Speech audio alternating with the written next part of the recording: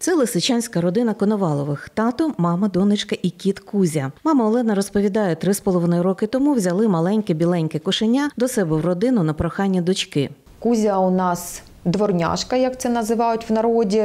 Він безпородний, народився на вулиці, і майбутнє у нього мало бути таке дворове, мав бути хуліган дворовий. Але ми його взяли в свою родину.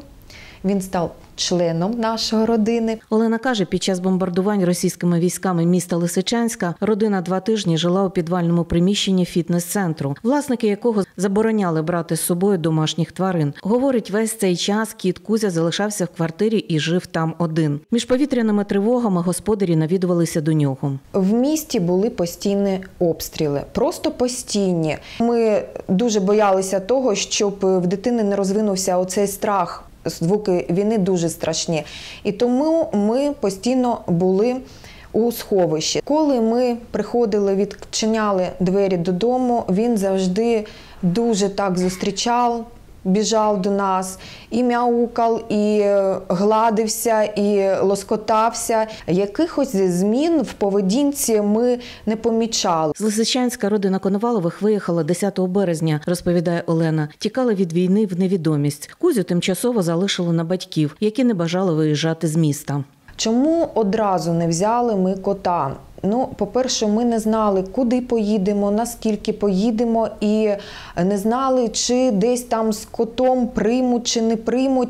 І, в принципі, і підготовки такої не було. І ми виїжджали, було мінус 12 градусів. Дорога була важкою та довготривалою, говорить Олена. Доводилося зупинятися по декілька днів у різних містах, допоки не знайшли тривалий прихисток за тисячу кілометрів від рідного міста у Хмельницькому.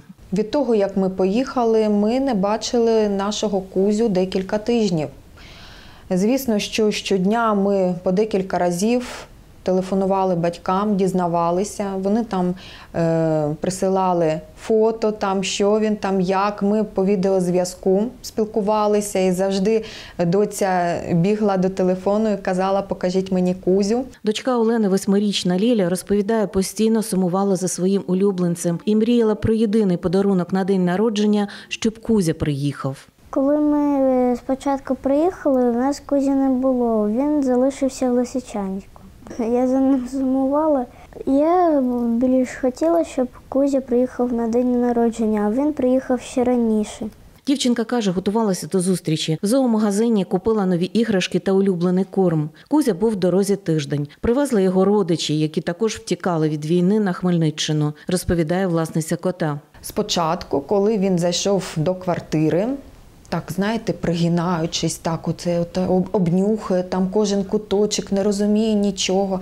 І так відсів, наче він так ображається. Ну що ж ви мене покинули? Коли ми насипали корм улюблений, поїв, попив водички, напився. І тоді він більш-менш так заспокоївся і почав приходити до себе, до тями, так мовити, після всього перенесеного. Наталія Поляниця, Олександр Горішевський. Новини на Суспільному. Хмельницький.